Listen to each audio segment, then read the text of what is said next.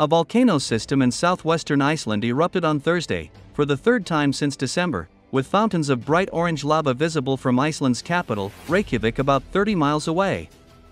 The eruption started at about 6 a.m. local time northeast of the Blue Lagoon. According to Iceland's Met Office, lava is bursting out from a 3 kilometer crack and flowing west, according to the authorities. The flows are directed away from Grindavik, a town that's had to be abandoned, potentially permanently, due to damage from the lava outbursts and seismic activity. The nearby geothermal spa Blue Lagoon had closed.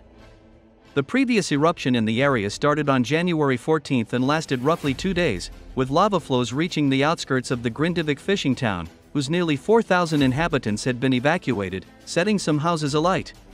Last eruption took place some way from Grindavik and was unlikely to pose a direct threat to the town, Icelandic geophysicist Ari Trausti Gudmundsson told Reuters, but it could pose some threat to the road to Grindavik and it could pose some threat to the power plant and even to the Blue Lagoon, he said adding that the risk depended on how much lava ultimately flowed from the ground.